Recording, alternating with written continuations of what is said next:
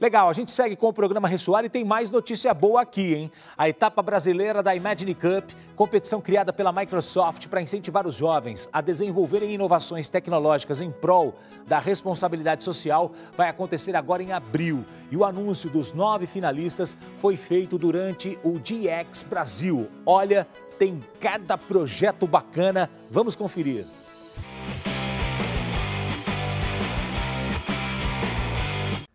Bem-vindos, queridos e queridas, novamente ao Game Experience Brasil, agora com a nossa edição 2016.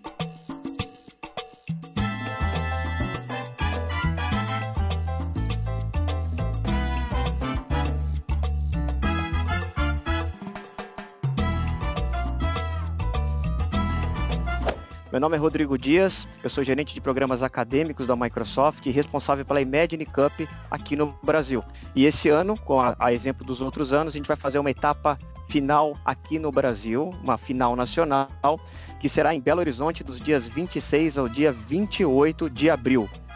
Então vamos para a lista dos finalistas da categoria Cidadania. Vamos lá.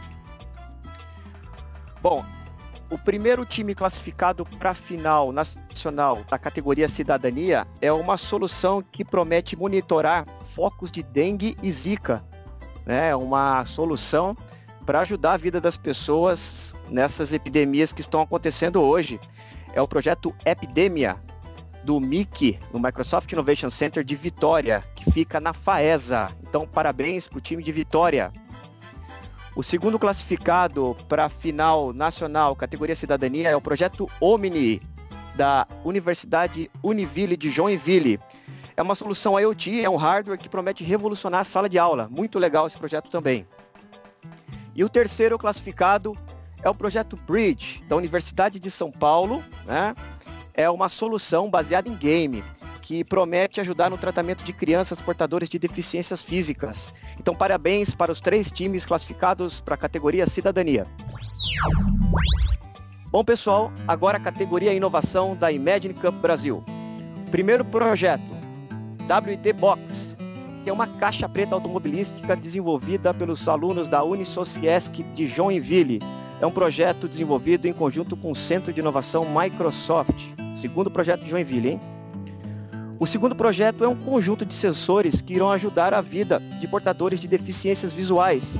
É um projeto desenvolvido pela PUC de Rio Grande do Sul em conjunto com a Federal do Rio Grande do Sul, que é o EcoSense. Parabéns para a galera aí de Porto Alegre. E o último classificado para o projeto de inovação é o Dreamper, que é uma rede social que une pessoas com o mesmo interesse. Um projeto super bacana da Universidade de Taubaté. Então esses são os três finalistas da categoria Inovação da Imagine Cup Brasil.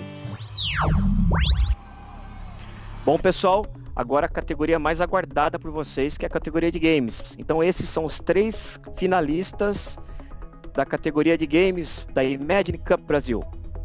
Crab Wave, da ETPAN, Escola Técnica Estadual lá de Recife, junto com o pessoal da Federal de Pernambuco.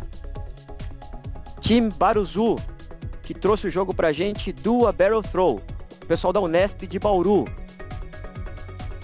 E por fim, o time Tower Up, com o jogo Sonho de Jequi, do pessoal da PUC Minas.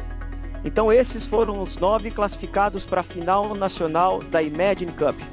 Boa sorte a todos e nos vemos em Belo Horizonte dia 28 de abril.